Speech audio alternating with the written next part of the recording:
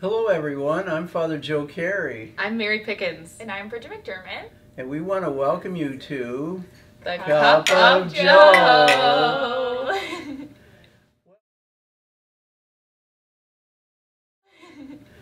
Well, wasn't it great to have uh, ACE 24 arrive on Sunday? So glad they're back. yeah, it yes. was an awesome weekend. What what stood out for you?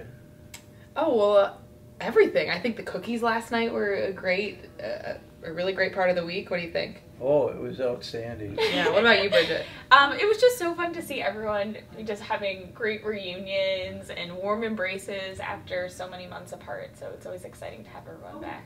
Mhm. And and so uh, you went through this experience. What what did what advice would you have for people who have just come back from a year of teaching as they approach the summer? Well, one thing I heard from an ACE 24 today, actually, uh, she said she was so excited to go into her classes with a new energy, a new spirit. She was going and thinking of specific students, and she was able to ask really specific questions that tailored to actual kids that she knew and that she's been serving this year. Um, so, one thing I think from this ACE teacher would be just really engaging in your classes this summer and um, asking really intentional questions. I think that's awesome advice. And I also think that maybe just taking some time to recharge throughout the summer and to process maybe moments that um, you found great success in your classroom and maybe some moments that you found um, some challenges and seeking out people um, in our community to kind of help you navigate those to prepare for your second year. And I think one of the things I've come to discover is the importance uh, of uh, everyone's story.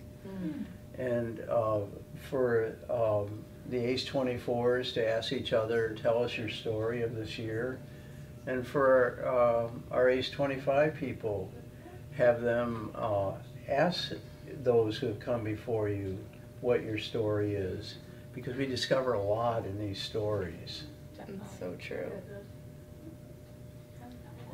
What about the poem? Oh, yeah. Let me share this quote. Thank you for the reminder. Okay. A quote that I read last night. Um, Who was it by? it's by your friend, your friend Pope Francis. Oh, my good yes, friend. your friend.